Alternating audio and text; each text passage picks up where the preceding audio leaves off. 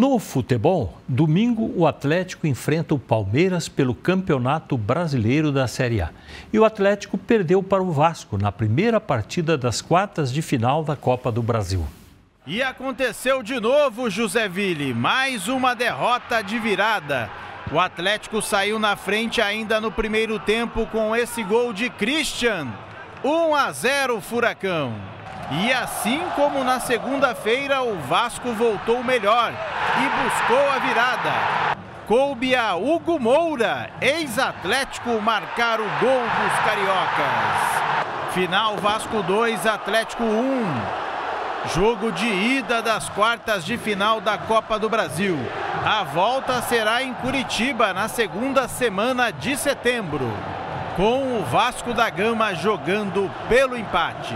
Agora o pensamento volta a ser o Campeonato Brasileiro.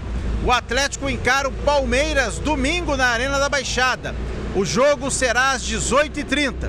E o Furacão não vem bem quando fala em jogar em casa pelo Brasileirão. Dos últimos seis jogos, não venceu nenhum. Quatro derrotas consecutivas. A cobrança tem que ter, né? Acho que, de novo, como eu falei, a gente não pode cometer os mesmos erros, como eu Acho que eu me incluo nisso também, acho que eu já falei.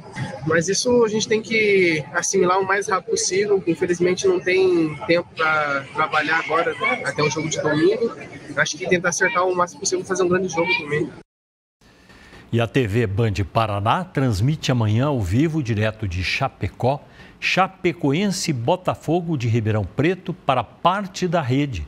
A transmissão começa às 4h20 da tarde.